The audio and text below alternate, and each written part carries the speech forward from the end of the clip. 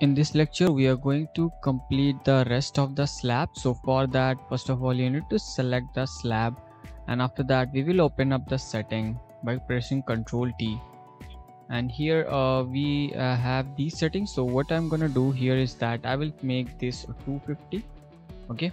And i will make this one minus 50 as per our project requirement. So you will see you will see the difference in this 3d view there okay? So don't worry about that. You can see that we have shifted this one to 250 the thickness and just uh, lifted this one by minus 50 so let's simply click on ok now after that you can see that right now we are in this uh, uh, method polygonal mode. So what you have to do next is you just simply need to select this point here.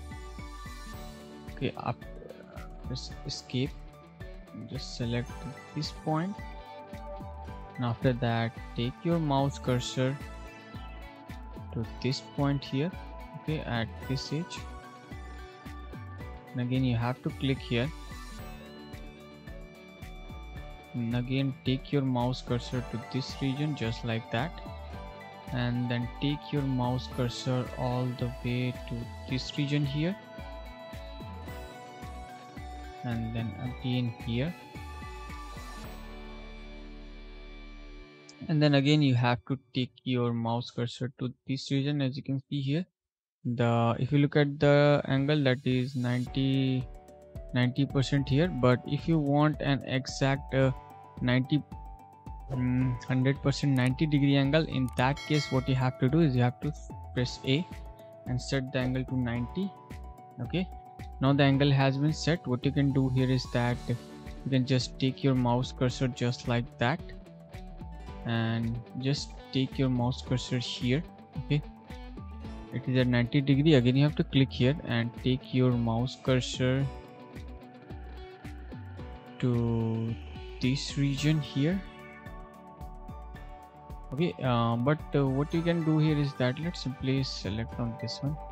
Now we have successfully modeled our slab. So let's click go to select mode and let's click here and you can see that we have model our slab here okay just like that.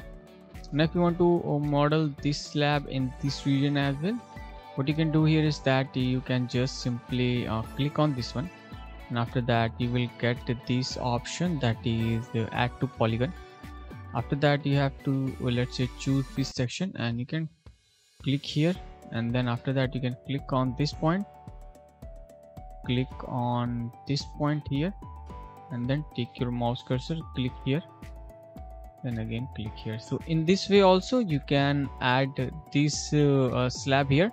So now let's uh, look at the 3d view. So this is our 3d view. As you can see here i'm just rotating rotating it by shift and middle mouse scroll. And you can see that we have modeled this slab just like that now if you want to model the slab on this side as well uh, we are going to uh, do also model the slab in this side as well. So for that uh, we are going to use some uh, different uh, uh, thickness and settings. So let's see that what settings these. So what i will do here is that i will press escape and press escape. And after that i will select this slab tool again. After that simply enter control t so here what i will do is i will make this one 300 and this one minus 50 that is fine. And after that uh, let's close this one. And make sure that you are in this mode that is the polygonal mode. And after that you just simply need to select this point this one and take your mouse cursor all the way up to this one here this region then click here. And then let's go to the initial point.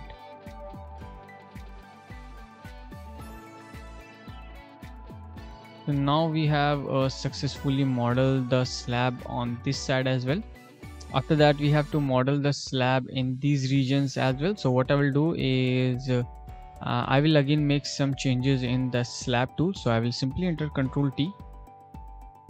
And here what I will make this one 100 and this one as 0 okay these are all these things are as per your project requirement. In your case you don't record these kinds of things so that's totally depend on your project. So after that just simply click on ok so after that what i will do here is that i will simply click on this point here and i will drag up to let's say uh, 3000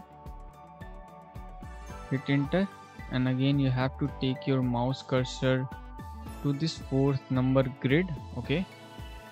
And let's simply select match it here just like that. Again take your mouse cursor here.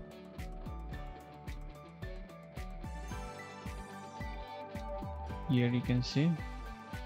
And after that just take it to the initial point and now we have successfully modeled the slab on this side as well. So now let's look have now let's have a look at the 3d view. So this is what we have modeled. Okay let me go to the arrow tool and you can see that what we have modeled till now is this is what we have modeled as you can see here. So in this way you have to model the slab as you can see. This is very easy. So now let's go back to the ground floor. So this is the end of this